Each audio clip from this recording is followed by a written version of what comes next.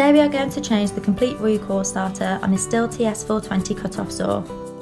Use the Torx spanner to remove the screw that secures the water connector from the underside of the machine. This will provide better access to the recoil.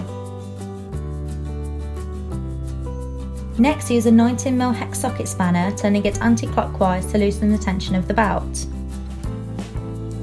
Once this is done, use a 13mm hex socket spanner to loosen the three nuts that secure the recoil assembly. Don't worry if you hear a squeak, they can be difficult to remove.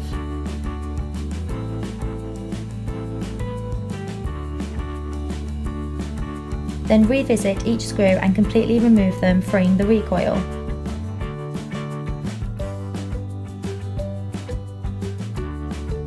Locate your new recoil assembly onto the machine Loosely turn each nut a few times, then return to tighten each nut with a 13mm spanner. Be careful not to split the plastic when tightening.